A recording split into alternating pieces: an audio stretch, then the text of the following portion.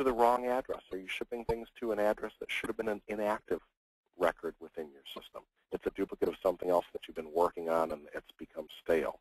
Um, are things being delayed because you have to stop and figure out, okay, which one is the correct one?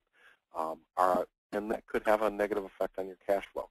And are your users tied up digging through, uh, you know, somebody calls, you know, um, Tom Watson calls from IBM, and you're trying to figure out, is, is it this IBM account, or is it the International Business Machines Corporation?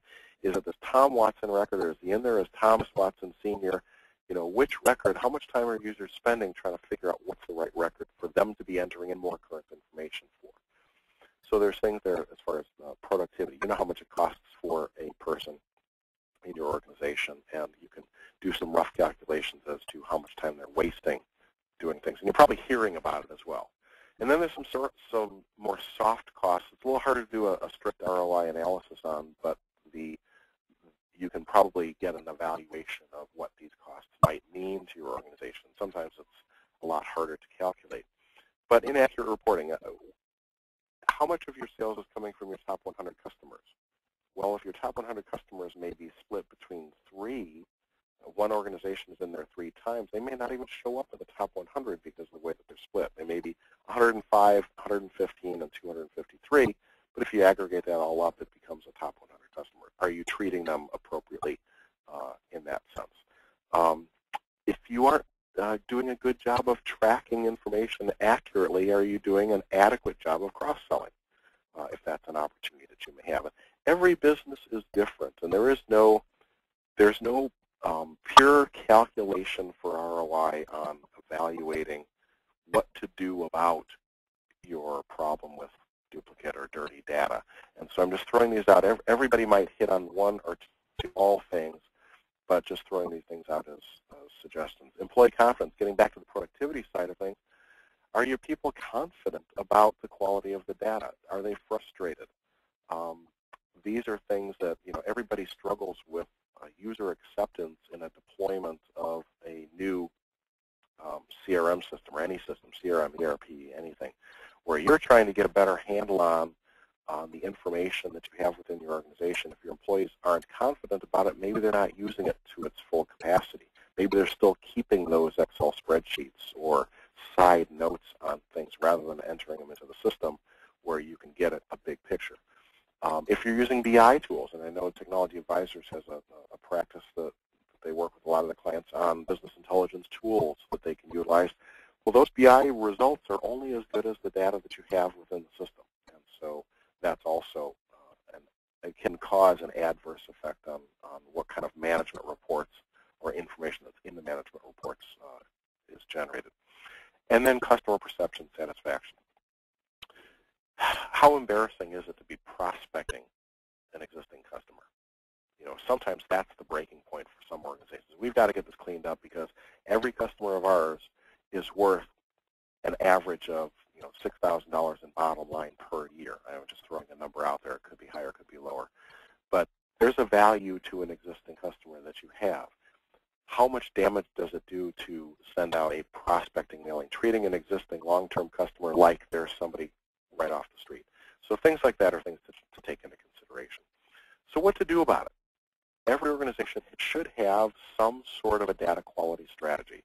And there needs to be the proper executive level and, and line levels within the disciplines within the organization, whether it be sales and marketing and operations and uh, whatever disciplines make sense for your organization to have people accountable for the quality of the data it's a top-down and it's a bottom-up type of a strategy that should be in place. There should be different people within different points in the organization that are responsible at their level for maintaining the quality of the data. And a lot of times, if, if you present it as a bottom-up, what is it that we can help you to do to make sure that your users aren't spending too much time looking for things, that they do have a high level of confidence in, in the uh, the quality of the data within the system, that their job is being optimized. They don't, users don't like wasting time in, in most cases. They want to get their job done. They want to be efficient and effective. So you need to define standards and, you know, for um, all forms of data capture, whether it be data entry or lists that you purchase or imports or web leads that come in. Data gets into these systems in a lot of different ways.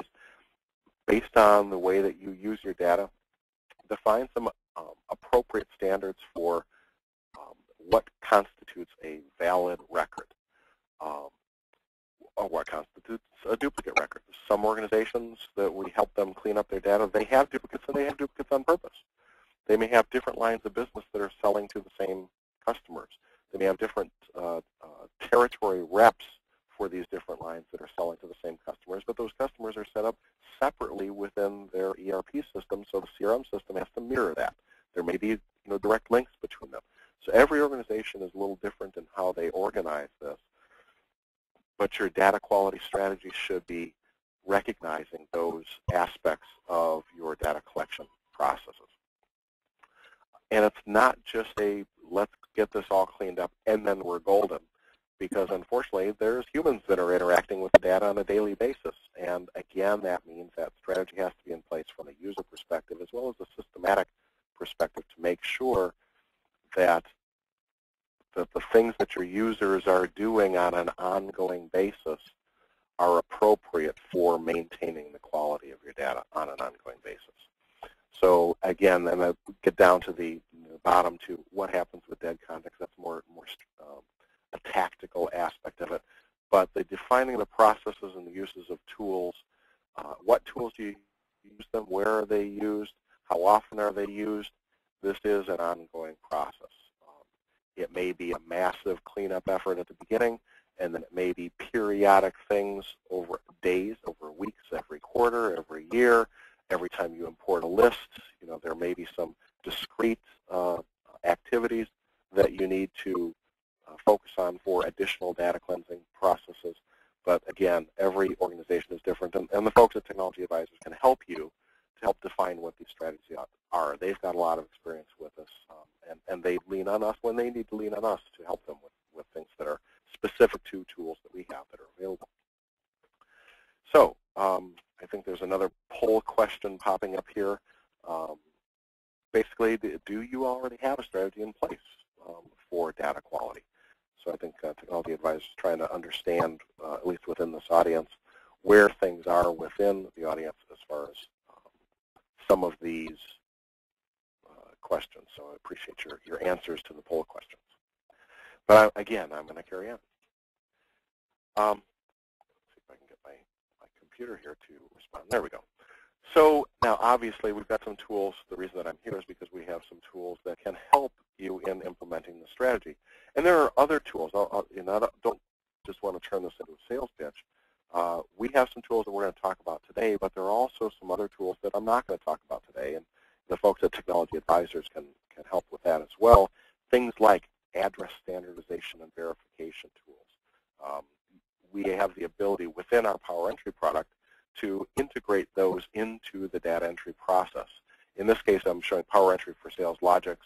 Um, Power Entry is an implementation of some matching technology that we've developed that allows for not only the streamlining of data entry into SalesLogix, but also improved searching capabilities being able to help your users find those records that they're looking for. If they are conscientious and actually look before they enter in information, Power Entry is a product that, that can help with that. It can also be a proactive duplicate avoidance front end for data entry into SalesLogix. And as I said, we can integrate other, other things that, that fit into the um, strategy and tactics of improving the quality of the data that you have within the system. So let's uh, uh, let me switch over and actually uh, get into SalesLogix, and I'll, I'll talk about this from a more um, user-oriented perspective here. Um, as I said, Power Entry does a couple of different things. And Power Entry, just a little bit of background. Power Entry has been around for about 11 years now, I believe, within the SalesLogix world. Started with SalesLogix version 3. And it was developed by Qgate over in the UK because they had SalesLogix users that were having these issues of not being able to find what they're looking for, and also duplicates getting into the system causing problems. And so this is a, a very proactive uh, approach to avoiding duplicates at the point of data entry. So what does it look like? In SalesLogix, um, you have the ability at the account level, you can do a lookup on accounts through starting with or contains or equal to or you know, the standard Boolean um, uh, matching uh, capabilities there. There's a lot of different ways to get to that. You can do it in a lot of ways there. You, there's also a lookup menu. You've got lookups for the contact where the last name starts with or begins or, or, or contains or that type of thing. But if I were, let's say I, I wanted to look up an account called JAE. I've got an account in the system called JAE, so I type in JAE to do a search, and I don't have any accounts in here. So then, even though I went to look as a user, I might go and enter that in as a new account in the system. Okay, so that's the, the capabilities of the standard lookup there. And I may look at, I may have to look at it three or four or five different ways to find it if I really know, I know there's somebody in there called JAE, but I don't remember how they're entered. Okay, well, with PowerEntry, part of what we add in is something called IntelliSearch that uses some underlying very in intelligent, comprehensive matching algorithms that allow for us to find things based on different types of logic. So if I choose to search using IntelliSearch instead of the standard out-of-the-box SalesLogix searching functionality, and I type in the same thing, JAE, and hit enter, I find that it's actually seven accounts in my system that look like JAE. I've got J period, A period, E period, all the way to the Jupiter Astronomy Equipment Corporation. Okay, and in some cases they're you know typical things. In some cases they're spelled terribly, uh, different abbreviations, those types of things. And and the IntelliSearch capabilities can be used if you've got a very large database. You can use other things, uh, geographic things, to to um, narrow it down. If I just I know I've got a JE in San Ramon, so I type in San Ramon, and now I get all of the Jupiter Astronomy Equipment Corporation records that are in San Ramon. I can look at some details about them if I wish to. Uh, so there's a summary of details here that you can look at, different contacts that are at that account, that type of thing. I can create a SalesLogix group from those four if I would need to drill down deeper, but you get the idea. So IntelliSearch allows you to find accounts that you're looking for. Similarly, if I want to look for a contact, I know there, I'm looking for somebody named Bill Hyatt.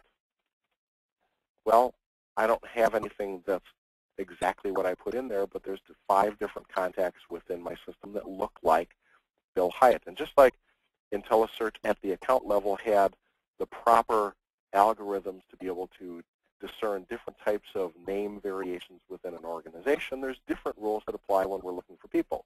It knows that Bill and Billy and William and Willie and Will are really all just variations of the same first name.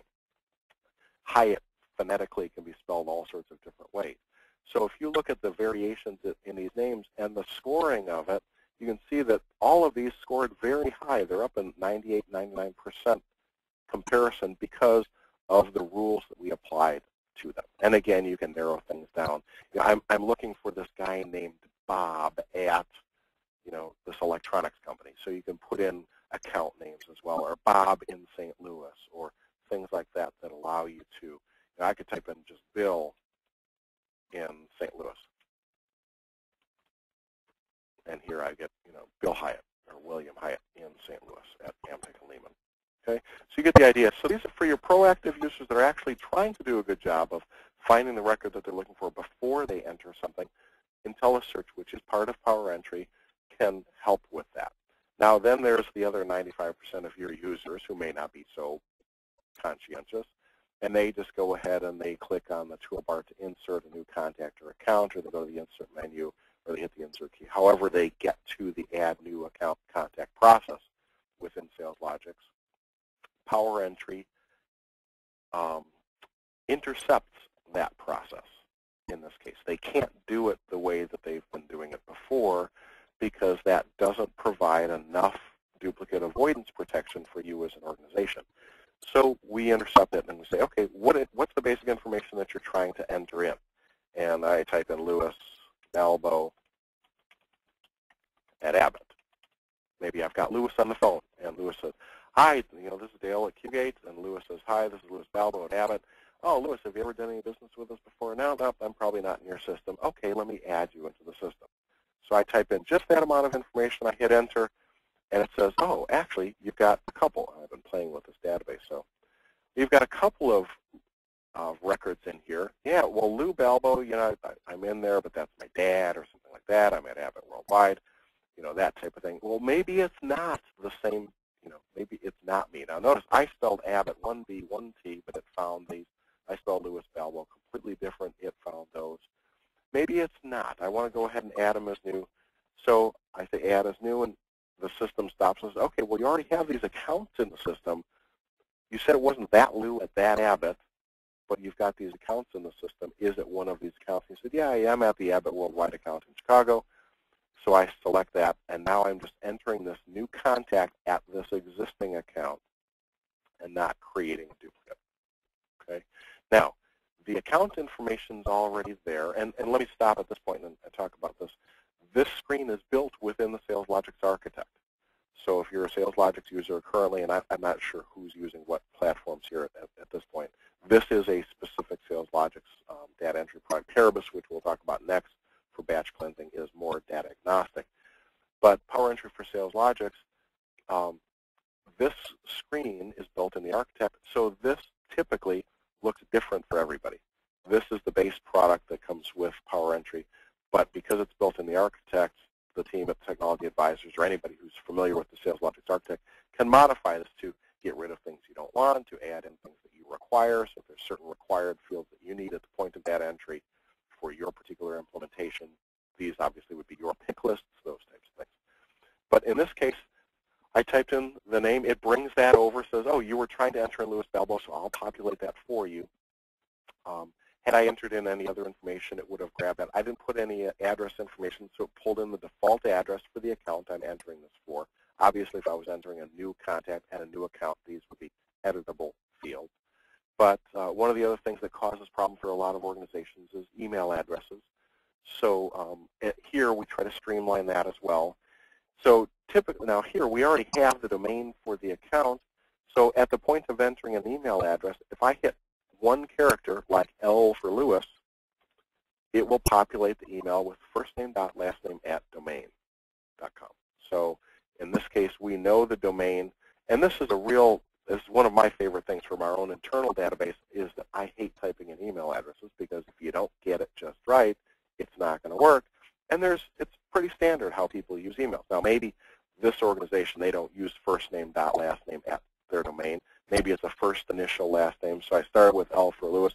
I type in the B for Balbo, and it goes to lbalbo at abbott.com. So in a lot of cases, when I'm entering an email address, one, two, three characters, I'm done, rather than having to retype the name. And maybe their domain is abbott.net.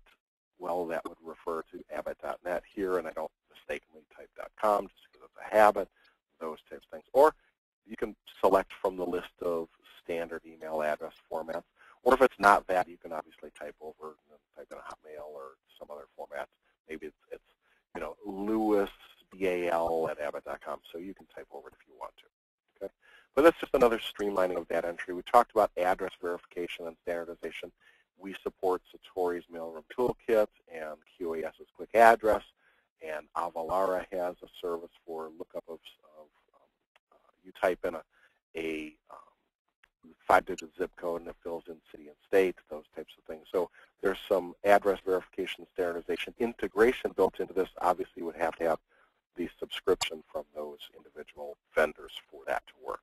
But also, this the address button is a button, so if there are other addresses at that account already, that could be brought in here, and you can select a different office address. Maybe this Lewis is at a different Abbott address, and it's as easy as a, you know, picking from that pick list.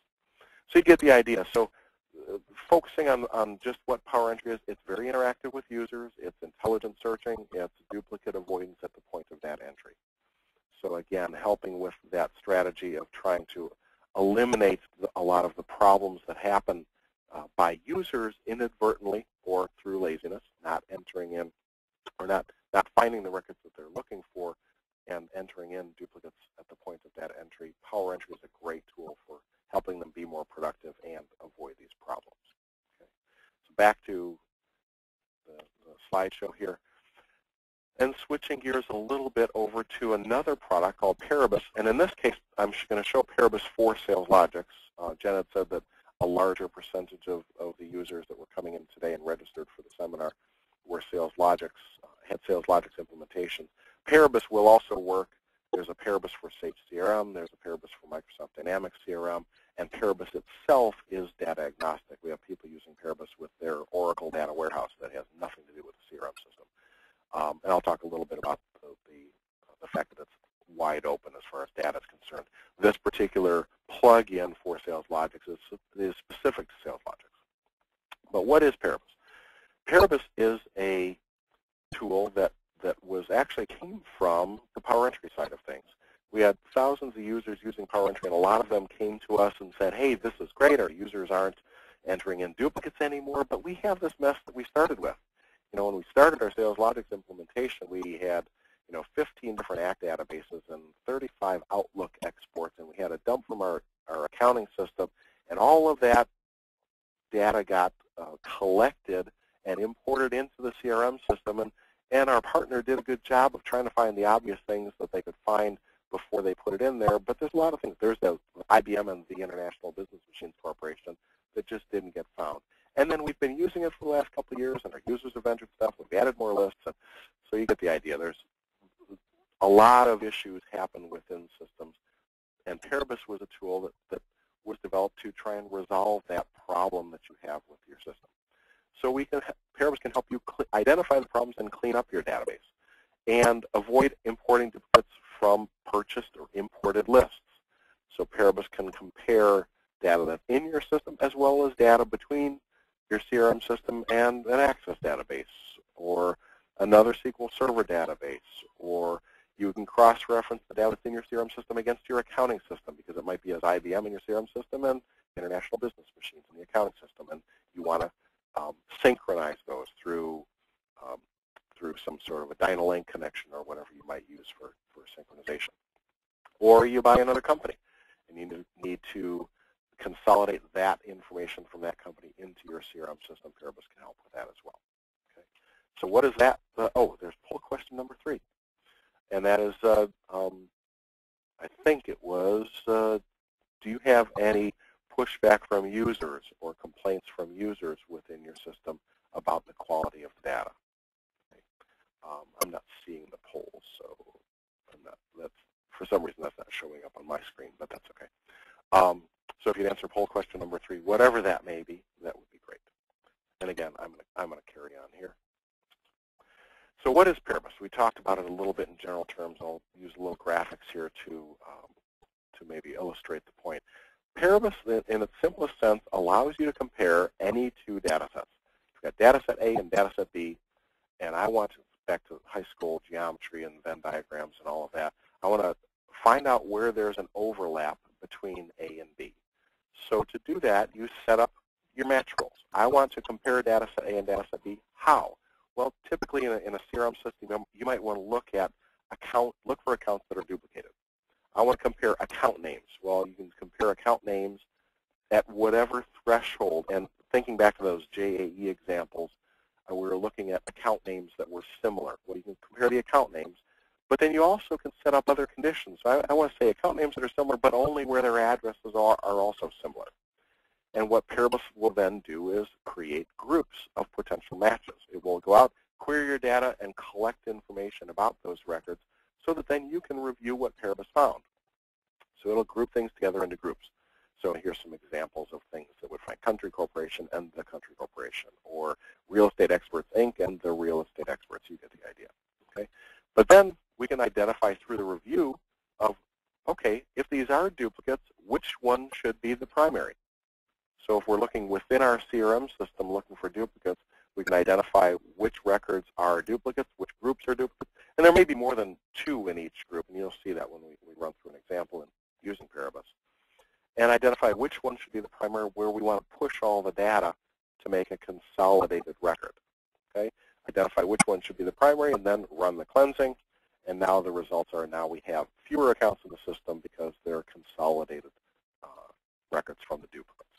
So that's from the simplest perspective, that's what Paribus is. Now let's look at it from a what, what Paribus looks like as a product. So it's a, a very simple interface, um, but basically you start at the bottom and work your way up to the point of creating match sessions. Now everything that I'm going to show you here in Paribus is pre pretty much out of the box.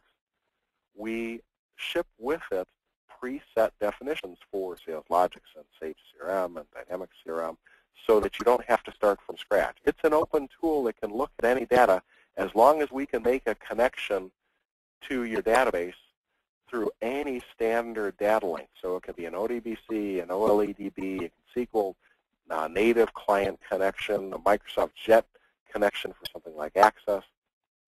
So you just basically have to tell Paribus, if I go to this one that I've got set up for my demo data, I told it I'm using a an OLEDB connection for SQL Server. So I'm making a native connection, not SalesLogix provider, just a, a native connection. And it's on this server. Here's my credentials to get data out of that, and here's my demo database. Yes, I've got a good connection to my data. Okay, So this is the basics. I've told Paribus where my data is, and that's the only special thing I needed to do.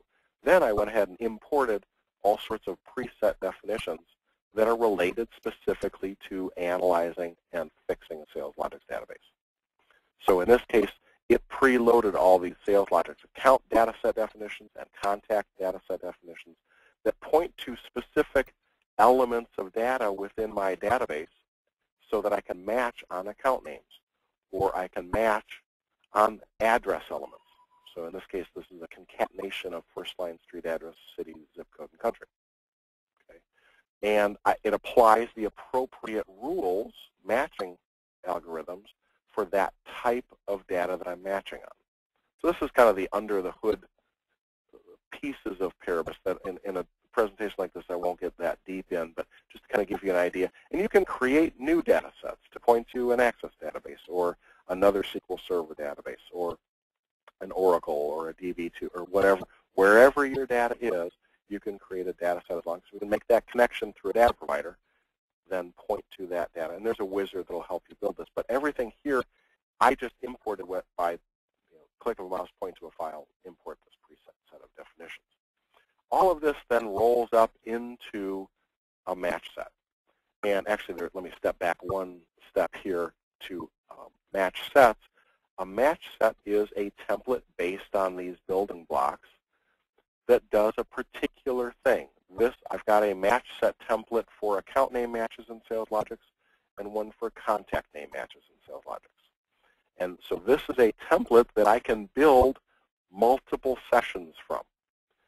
So to equate this to how, what other kinds of uh, electronic templates can be used, every time you send out a fax, you might want to have a cover sheet to the fax. But every time you create a cover sheet, for, this is for those people who still send out faxes, I know it's old technology. But for a, a fax cover sheet, you wouldn't want to have to create that every single time. Going find your company logo and draw lines and boxes and cells in a table and, and put in the labels for that. No, you have a Word document template that's a fax cover sheet that you can just say, I'm sending this to Dale at Qgate. Here's his fax number. Here's how many pages, and here's my notes and that gets printed out, and that goes on the fax as, as the cover sheet. Every time you run a match session looking for duplicate accounts, it's probably going to be very similar to the one you ran yesterday or a month ago or six months ago. So you set up a template for that, and that's what this preset template is that comes with Paribus. It's an account name template that uses that data set that we were looking at here for account names as my primary comparison. I can set up a default fuzziness threshold how similar or dissimilar am I going to allow um, account names to be to be considered potential duplicates? Do I want to have Paribus automatically identify a primary group member from data set A or data set B? Again, back to the comparing A and B. And then what kinds of other secondary conditions might I want to apply? So what does that mean when we come up and create a match session? So I'm going to go ahead and create a brand new match session it's going to say, just like if you go File, New in Microsoft Word, what template do you want to use.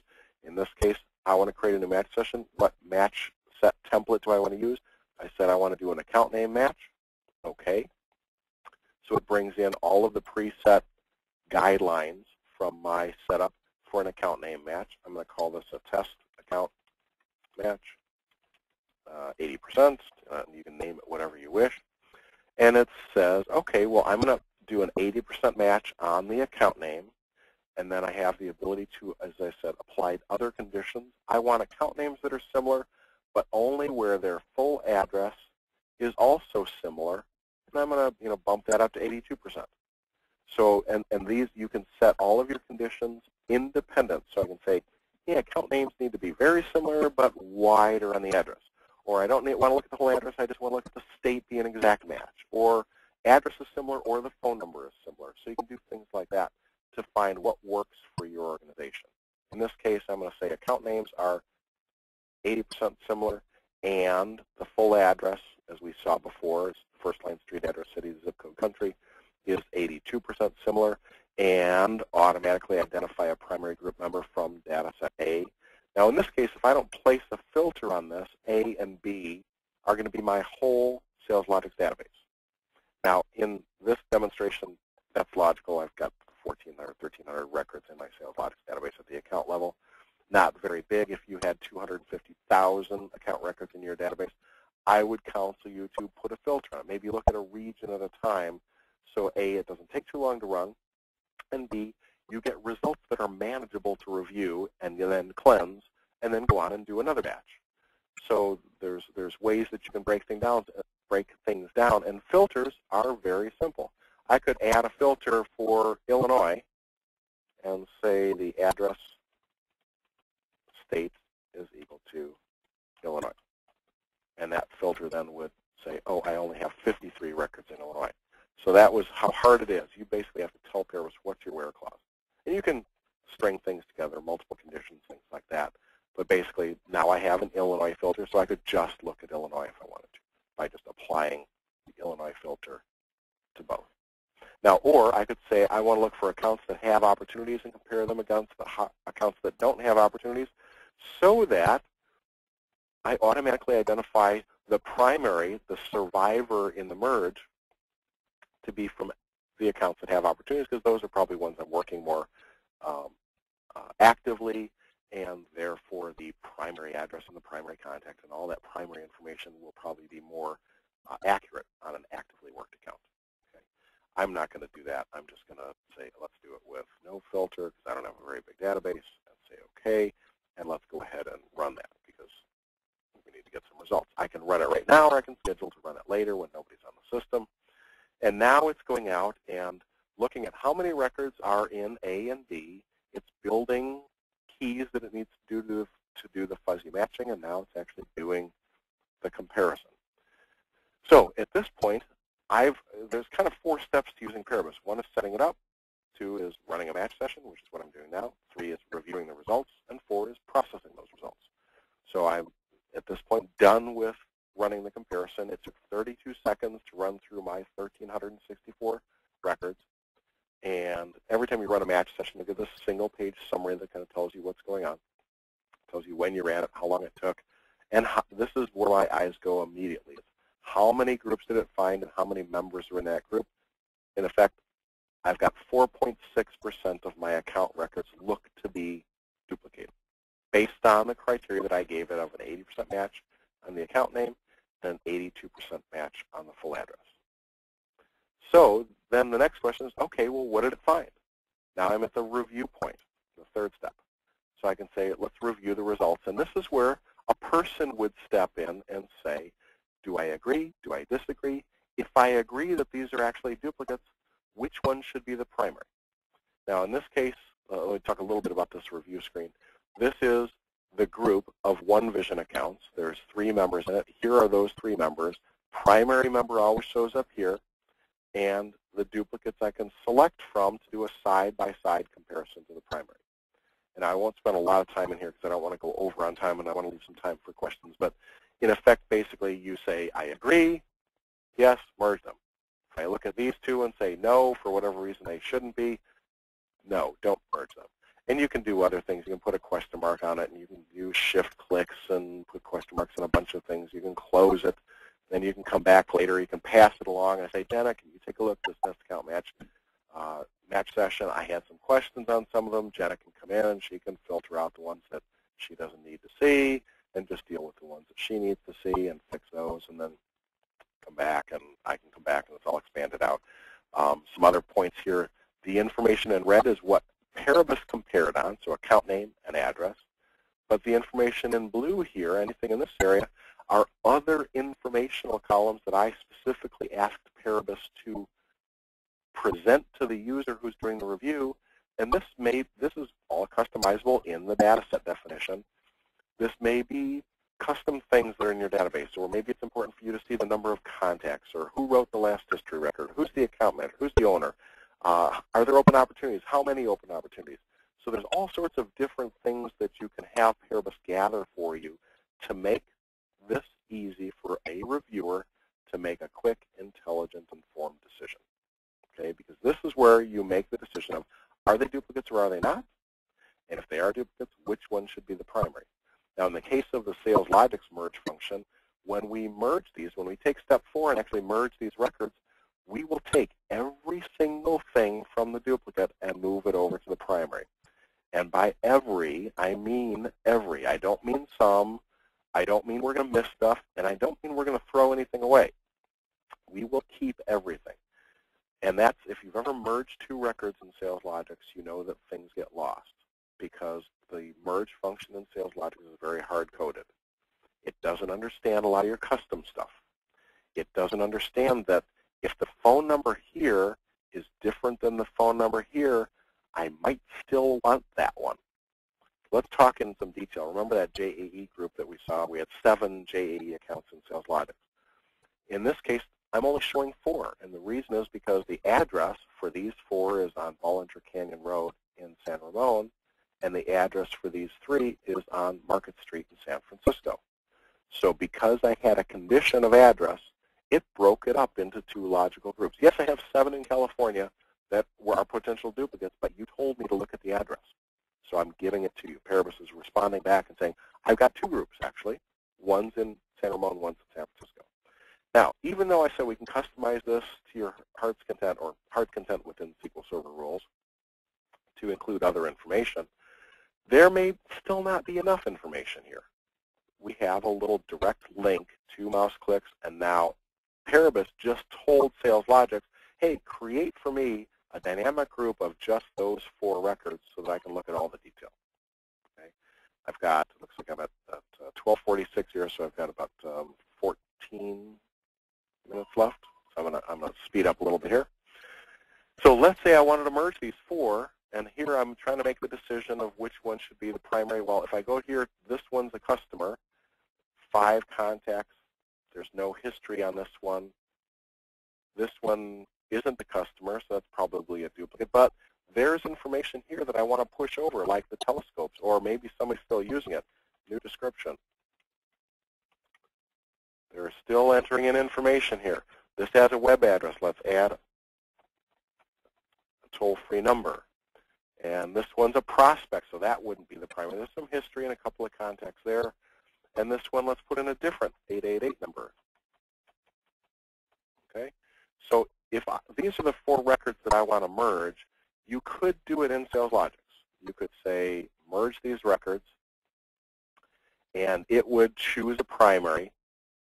But if you were to merge those four like that, any of the different information, like different phone numbers, be thrown away from the duplicates. The fact that one was a customer and one was a prospect, the fact they were a prospect would be thrown away because there's no room in the type column in the account table to push another value. So what Paribus does is it will backfill as much as we can. So if this is my primary, you'll see there'll be a, a toll-free number and a web address and a division and a description coming over. The, all the contacts, those are one-to-many things. Those come in easily. All the history records will come in. But if you also merge these in Sales SalesLogix, there'd be no record that there were ever four different accounts. There would just be one account that had a bunch of extra information and some stuff thrown away but no record that they were ever separate. Well, we'll fix that too. So let's go back to Paribus and say I want to create, I want to say this is the primary, move that one into the primary position. These three are the duplicates. It checked it off. I'm going to go ahead. Now, typically, you wouldn't do a partial batch. You would you know, approve or disapprove of all of them, but in the name of time, I'm just going to go ahead and log into my Paribus for SalesLogix um, plugin it's doing a little quick analysis to say, hey, have I ever seen this database before? And if I have, has the structure of it changed? Because every database is different. So Paribus, the first time I ran this, ran through a little four-step wizard and built custom reassignment rules specifically for the structure of my SalesLogix database. As you can see, there's some things in here that are custom tables at the account level. There's also custom tables at the contact level. It found those without me telling it to. So it will do a, a schema discovery of your database the first time you use it and find all the custom stuff that was added. And then you can say, okay, well, what do I want to do? I want to merge the accounts.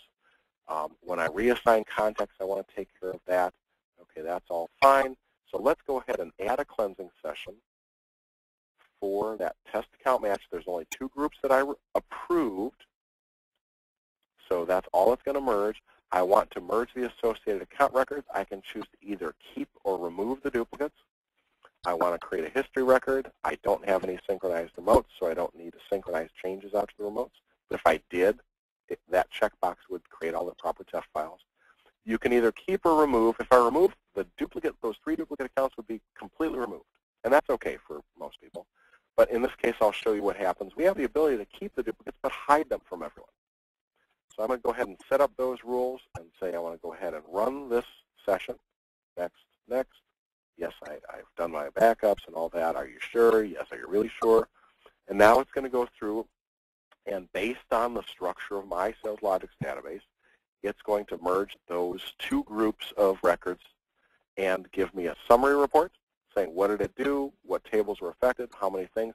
It will give me audit detail on what happened to those records, how many records were reassigned from each table, the fact that I said hide it, so the sec code ID was changed to QGate Paribus, so now those hidden records wouldn't be seen by anyone.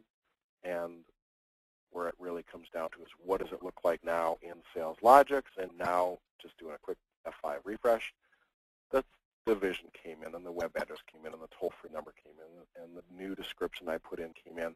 And all of those other addresses are still there, but they're marked as being realigned by Paribus, and this is still the primary address. The primary contact for the account is still the primary contact for the account, but all the other contacts are brought in. I have all the history records that came in from the duplicates and one that Paribus wrote because I asked it to. This account was identified as the master in a cleansing process. Also, I have an audit that says, this is a tab that we've added in through a bundle, standard SalesLogix bundle, saying here's the three accounts that got merged in, and here is all the extra data, including the extra names that this account went by, extra fax numbers that we would have lost in a standard merge, extra main phone numbers and a toll-free number, that secondary toll-free number that I added back in, the fact that they were also a prospect.